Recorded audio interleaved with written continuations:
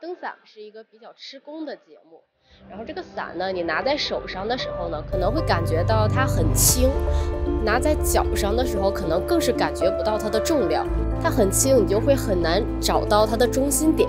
而且你不只要控制着双脚的动作，还要双手一直保持着这个旋转，所以说应该算是一心二用吧。最多呢，我的右脚是九把伞。左脚是四把伞，加上手上的两把，一共是呈现的是十五把伞。